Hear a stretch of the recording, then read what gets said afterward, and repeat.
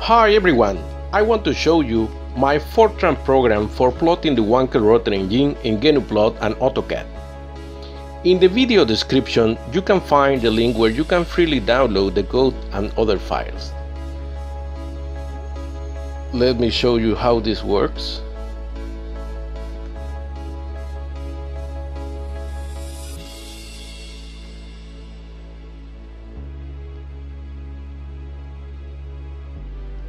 I'm gonna add some text here to specify that this value will be always an integer number.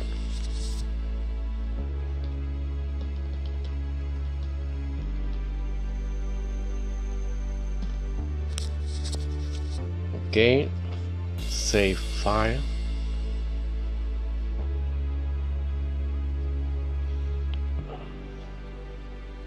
Now I'm gonna use this batch file to upload the source code to my virtual Linux server, a Ubuntu server.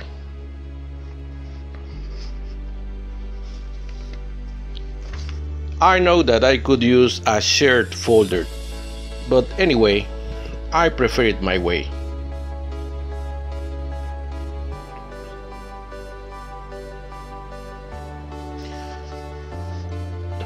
Once the source code is in the server, we have to compile it and make the executable for that. I'm gonna use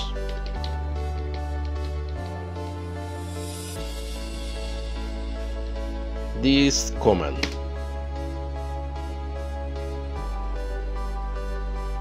Okay let me list the files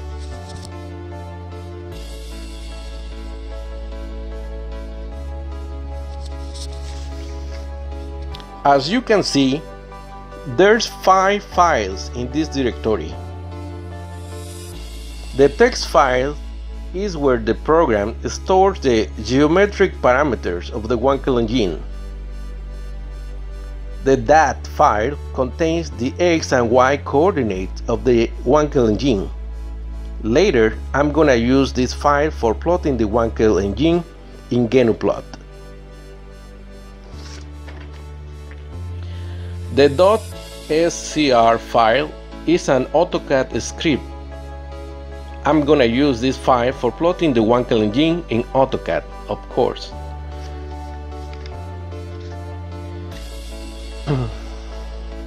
the one with the .f90 extension is my source code.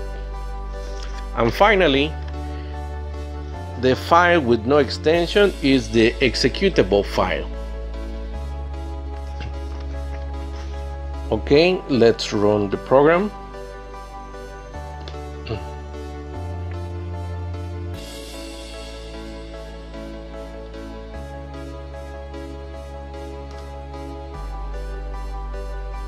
First, the program asks for a major axis length, just as a reference. The program used this value to calculate the radius of the fixed circle of the peritrochoid that is used as the housing of the Wankel engine. This radius is then rounded up and is used to recalculate the actual value of the major axis length. You ask me why? Because I want to print the Wankel engine in a letter size sheet of paper and I want an integer value for the radius of the fixed circle.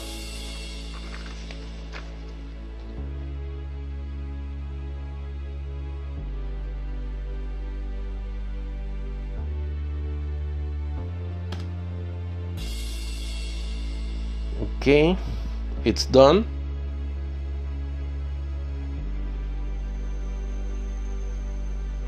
Now I'm gonna use this batch file to download the files the text file, the DAT file and the AutoCAD script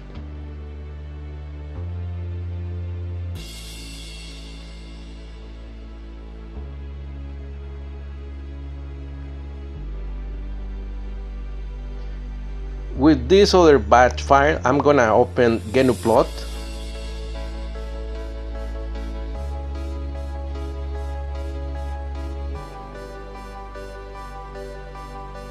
Here we have the Wankel rotor engine.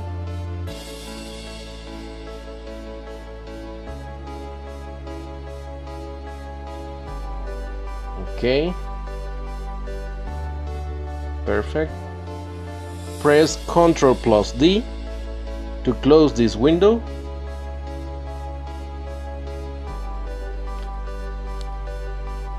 Finally, with this batch file, I'm gonna open AutoCAD.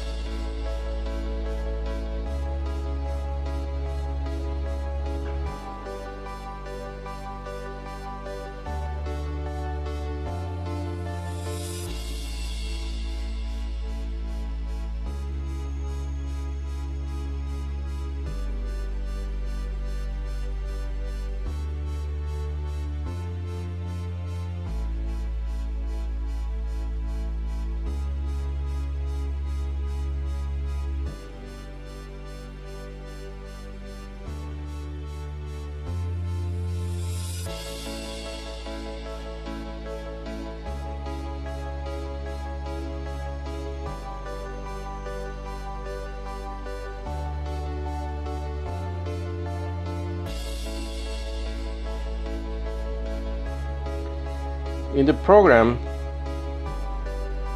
we calculate the perimeter of the housing. The perimeter of the housing for this case is 280 millimeters, more or less. And in AutoCAD, we're gonna check that value.